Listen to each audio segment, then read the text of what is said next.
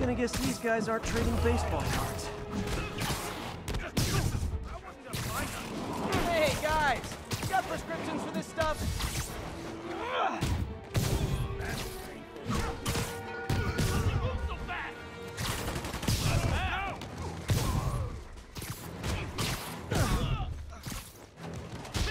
I'm losing them! Gotta catch up. I think your shocks need some work.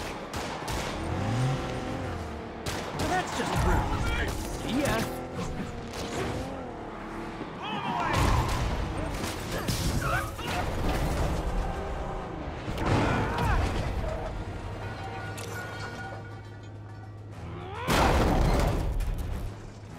Drugs are maybe my most disliked criminal activity.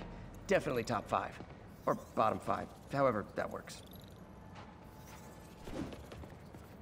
Probably better if I'm not here when the cops arrive.